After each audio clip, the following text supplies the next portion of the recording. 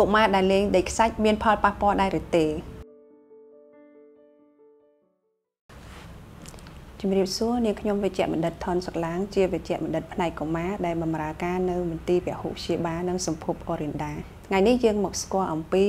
ជំងឺព្រូនក្រោមស្បែករបស់កុមារចំពោះជំងឺព្រូនក្រោមស្បែករបស់កុមារជាជំងឺស្បែកម្យ៉ាងដែលបង្កឡើងដោយពួកប៉ារ៉ាសាយជាព្រូនទំពុក ដែលចេញពីលាមកសត្វឆ្កែឬសត្វឆ្មាហើយភាគច្រើនយើងឃើញប៉ារ៉ាសាយប្រភេទនេះមាននៅលើដីខ្សាច់ក្រោយពីប៉ះពាល់ដោយផ្ទាល់ជាមួយប៉ារ៉ាសាយឬលេងនៅលើដីខ្សាច់ដែលមានប៉ារ៉ាសាយមួយថ្ងៃទៅ5ថ្ងៃក្រោយមកកុមារអាចចេញជា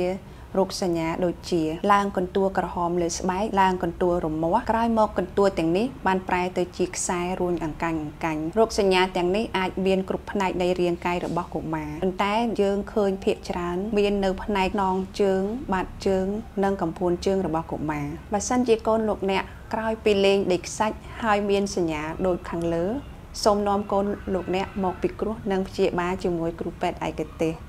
ជៀសវាងការប្រើប្រាស់ថ្នាំដែលមិនត្រឹមត្រូវចាសសូមអរគុណនិងជម្រាបលា